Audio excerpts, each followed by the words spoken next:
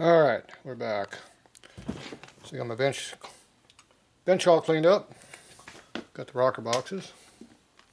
So these have all been clear coated. Special coating. So problem with these is trying to get the uh, buffing compound out of these damn things. So you can coat them.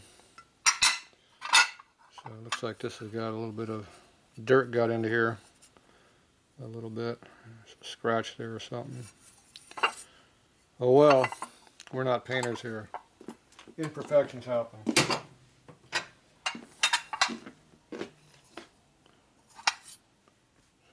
feel it in the covers. Oh well. So we'll put this on the front, it has less, less issues. We'll make this the front rocker box. Make that the rear one. That'll work. Anyway, I tried lots of times, lots of different ways of cleaning these things, and all the ultrasonic cleaner does is destroy it. You see it's got like veins in here in the in the polish underneath. It just comes out of the die cast material. Wouldn't didn't want to go away. So anyway, it's these have been repolished three times now. Maybe four times? I think four times. So anyway, this is my last go at it. So Ben did these ones. The clear coat kind of dulls them a little bit. It's uh, not quite as shiny as if they were not clear coated. But uh, that's typical of clear. But well, they are what they are. They should stay that way for a lot of years, so hopefully they do. Okay, so now we got to work on the, put the rocker boxes on up over here. We're going to have to have a lot of stuff now.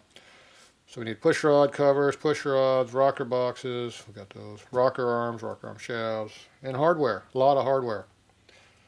So we got to find some hardware to use. Hopefully there's enough hardware here I can use something. You never know. So I got brand new crane.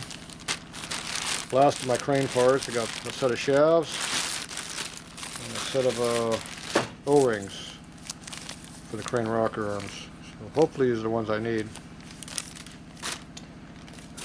He has the old style crane roller rockers with the needle bearings in them. So they have O-rings that seal the oil in the arm, otherwise they just blow all out. So hopefully this is the correct O-ring for that goes in here. I'm hoping. I got three bags them. These here are the last of the shafts. Rocker arm bushing, needle bearing. Alright, well see that's two different types. That's plain bearing, which is the bushing, and they got needle bearing, which is what we have. My guess is the shaft works for both. So anyway, I got a brand new set of those, so hopefully those will work. Otherwise you're shit out of luck, because crane's no longer around and nobody's making this crap no more. Once I run out of it, good luck. His arms are good, so we're going to use them. It's high quality stuff, so Crane does make good stuff. Alright, so we just happen to have four of them too. There's three anyway. Number four. Here's a bit two fronts and two rears. That's even better. Perfect. Alright, so that's that. Got a brand new set of crane push rods. He had a push rod that was bent, so he said, screw it, just give me new ones. Okay. So I have uh, lots of uh, twin cam and Evo new push rods, crane. I even got the uh, quarter inch longer ones if you got a big stroker motor. So it takes two shorts and two longs to make up a set. So it'd be intake and exhaust, in case you didn't know the difference. Like this. This is 3 ace. I like these better than the uh, S&S uh, fully adjustable ones. These, these lock down better. They stay tight. They don't come loose like the S&S ones are. These are easier to adjust. The only disadvantage is these have to be you have to have the rockers out to put these in. These are not fully collapsible. These are a lot lighter too. the 3 8 diameter instead of 7 16s. So, but anyway, I like these. Uh, they work pretty good. I never had a problem with these crane rods. They always seem to just work. So yeah, I got lots of those things left if you ever need any. When you buy up all the old inventory, you get lots of parts. So okay, here's our 12 point rocker box hardware. Go on top, so it matches the lifter blocks, and it should eliminate that stupid rusty ass Allen look that I don't like. And I don't think I'm going to use any of this stuff here. I'll probably come up with my own stuff. We'll see. What else we got laying around here? More junk. These we're going to need.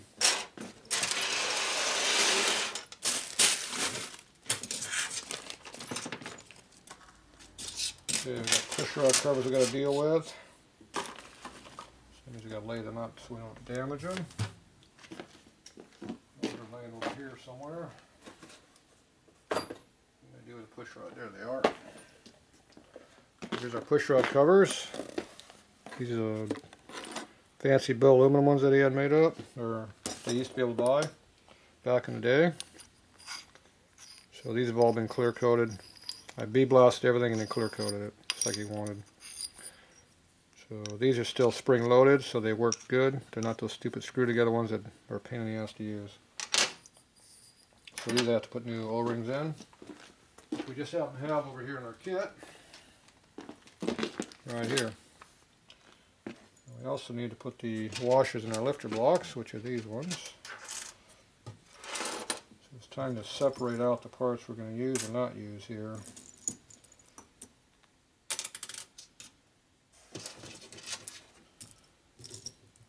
At some point you have to do that.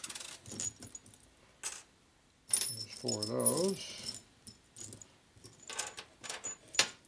There's four of those. Okay, so I got the four and four here. So these are for the lifter block, and these are for the push rod covers. We need four springs, which we happen to have four springs. Okay, so I got everything I need to put that together. And I got the O-rings right here. Pulls out. Assembly going on here. Okay, so you take an upper, you take a cover, take a springy, take a washer, grab an O-ring. The O-ring you want is the one that fits tight around the cover. Push it all the way down. This is our cover. The tapered here is what goes up because that's what collapses the O-ring onto the tube here. And pinches it, makes it seal. The spring puts pressure on to keep it tight on the top and bottom. So that goes in there like that.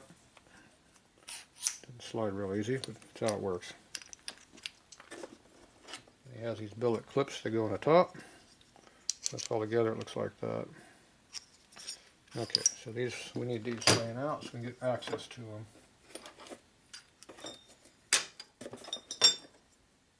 Got stuff all laying over here in its own box so it didn't get scraped, scratched up. At least that's what we're trying to do. Not sure how good it worked.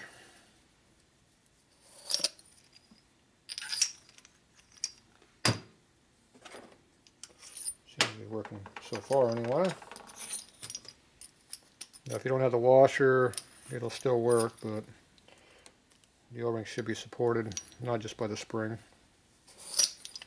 I've seen a lot of them put together without the spring, without the washer in there. But you do have to have the spring. If you don't have a spring, it don't work.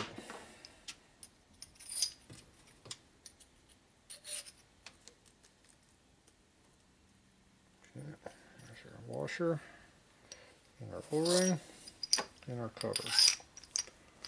Okay, so there's our push rod cover arrangement. That's all good to go. These are the push rods, so put them on there with them. Those all have to go together as a unit. Okay, these here, these go on top of the lifter block and they keep the O-ring from dropping into the hole. Kind of important. They go right over here. So There's a sharp edge, a dull edge. How you put the sharp edge down. That one was on upside down. Looks like it's about that way.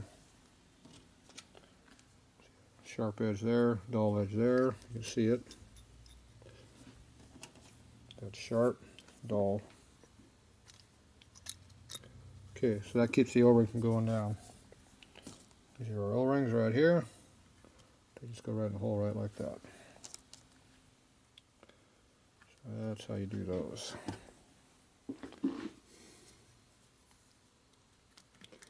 Don't forget to put either one of these two parts in there. You will have a big oil leak if you don't have these in there. Okay, we still should still be up on top. Yep, and the other one's up in there too. Okay, so all the O-rings are in there like they belong. So this is all ready to go together. Okay, now I gotta find all the rocker box hardware. So there should be three of these per box. That means we need six of them. These are all grade 8. And these look like they're metric. What kind of a number is that? Jeez. They look like American thread. Okay, there should be a washer. There's a washer under it. Good. So I need a few washers here. These are the old tops. See how they get rusty in there? 12 points don't do that. See how that gets all dinged up. That's why I put a new one in the motor. I don't know what these are for. We're not using them though. Okay, there's two different lengths of these, a short one and a long one. These are all the same so far. There's the short one, see the difference?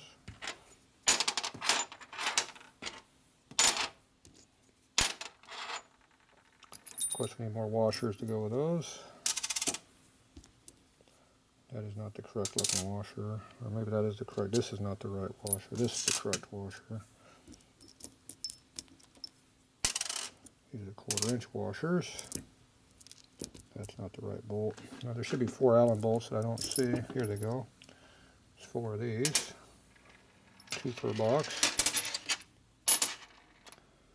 There's three. Bolts. There's the other one. Now there's supposed to be a little washer goes underneath that head of that too. It looks just like that one right there. One, two. Now if you don't have that little washer, the Allen bolt here wants to suck into the rocker box. So those go underneath here. Right here, they suck this hole. They actually suck inside this hole I've seen. So you can see how there's an outline of where the washer was. So those are the two Allen bolts go. Okay, what are the hardware we got? One of those. That's not the right one. That one is. Another short bolt. One goes over here. Okay, you got two washers. One of those goes there.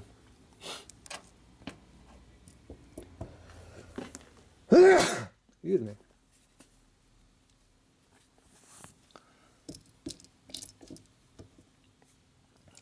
Those.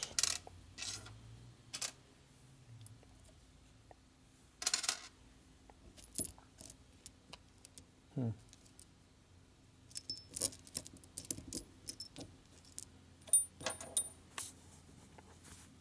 Appear to be missing some parts here.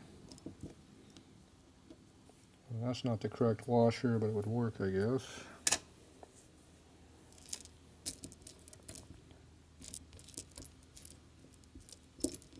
Of course, we only got one of them. Why would you have two? That's a lock washer.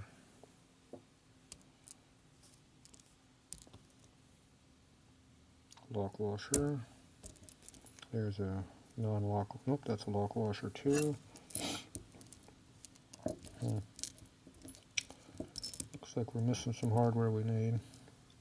This goes over with that.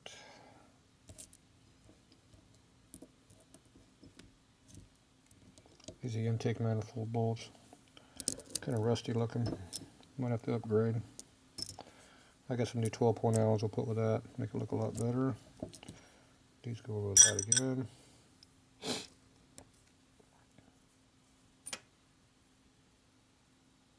Hmm. I think we're missing some hardware. Alright, what we got here? We got, uh, missing one long bolt.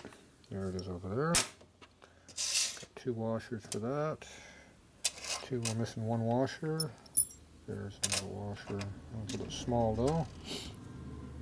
That one's small too. Have to pick one to use out of those two, I guess.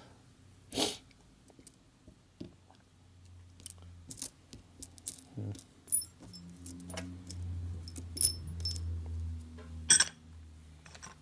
More junk.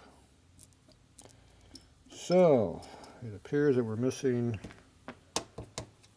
these things right there. We have one of these that could be used. A lock washer that will not work. The problem with this is it gets to be so big in diameter. You can get away with your seal there, but it looks like it'll fit. Don't particularly want to use a lock washer. Alright, I do not see what I'm looking for. Wonderful. Okay, I'm going to go dig up a couple of those. Alright, so uh, looks like I got most of the other hardware. Okay, let me do some more digging. We'll be back. Alright, new problem. It's going to stop us from building the motor right now. Okay, these rocker arm shelves are smaller diameter than normal. And these things are worn pretty heavily here. And this one is coming apart here. So I can flip these things over and get a new surface and wear them in that way. Which would probably work alright for a while. It's not exactly how you want to do business around here, but you can see how they're already worn. So you just flip them over. You can make them work again. So it wouldn't really make much difference doing it that way, I guess, but not exactly how I like doing things. These shafts here are bigger diameter, which is the same as regular shafts. So these are the same thing. These are same as a regular shaft. These are different. Same length, different diameter. So, that's the problem. See what the customer wants to do about that. Okay, this shaft here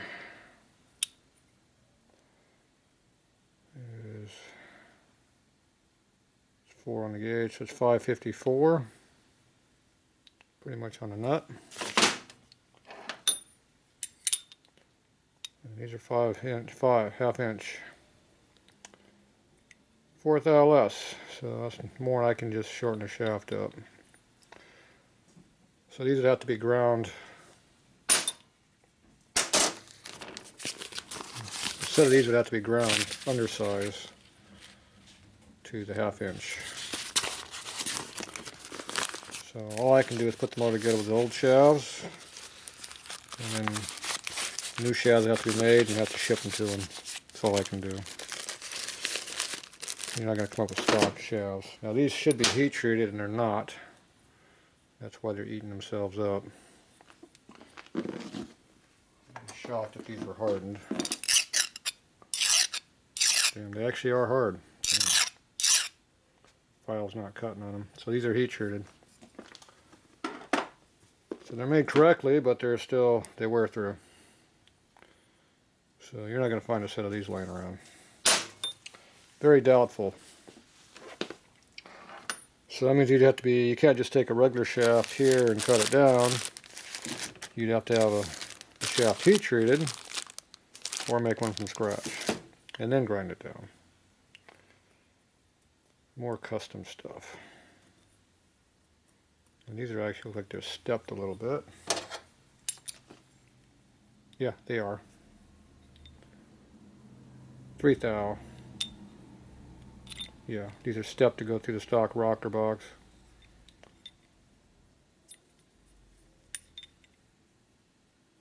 Yeah, they're two and a half, two and three quarter. There's three thou over. Because the stock shaft won't go through the hole at four thou. So I guess, yeah, with one thou less, one and a half thou less, it goes through the bearing. When you get over where it works, it's got the correct clearance. Yeah. Wonderful. That's the problem with this stuff.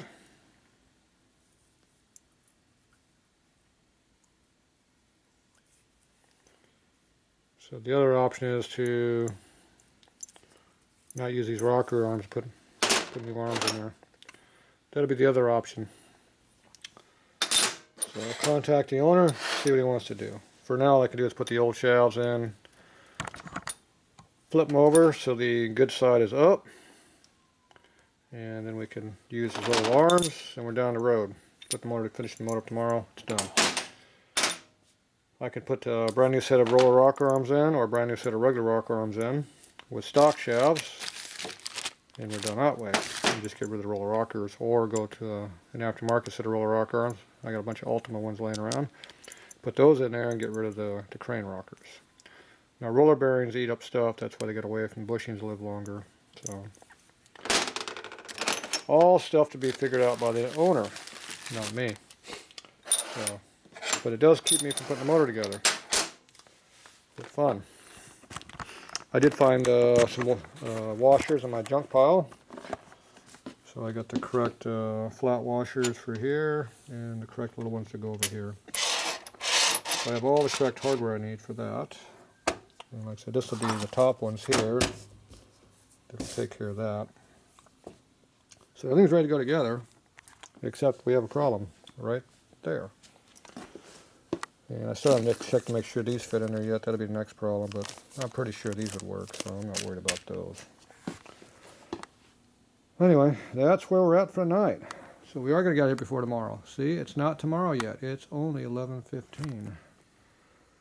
Scooby's going to be happy because he's been running around wanting to get out of here. Scooby, you ready to go home? Scooby, where you at? He's sleeping over there again. All right. Well, that's it for now. We'll have to finish this in another day, which will be tomorrow. All right. That's it.